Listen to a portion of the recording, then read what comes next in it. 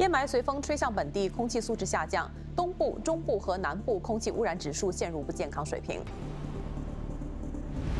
执法人员起获五十三箱漏税香烟，逮捕五名涉及兜售香烟的男子，并对两名买家开罚。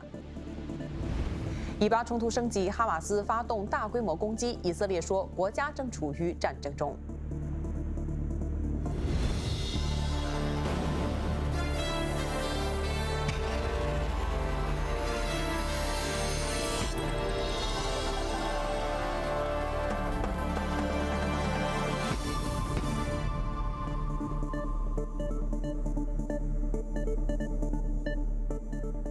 傍晚好，欢迎收看《时辰六点半》。印度尼西亚苏门答腊的热点增加，风向改变，把烟霾吹向我国，本地空气素质下降。